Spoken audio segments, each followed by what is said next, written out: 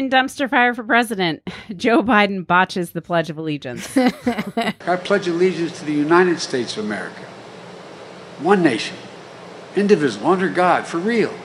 Actually, Under God was added in 1954, so maybe Joe Biden was just reciting the original version that he learned when he was a child in the 40s.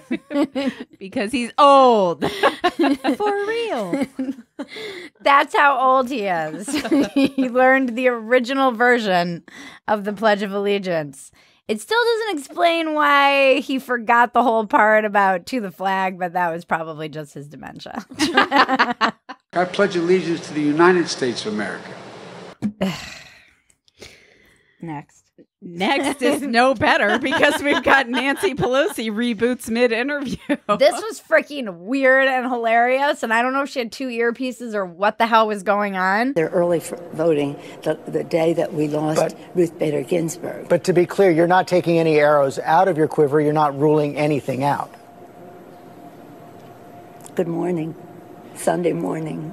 We've been so focused on Joe's cognitive decline that we've failed to notice Nancy Pelosi is rapidly declining as well. Because they're all in their freaking late 70s and should be enjoying their time with their families instead of clinging to power. It's time to acknowledge that the leaders of this country are all in early stages of dementia.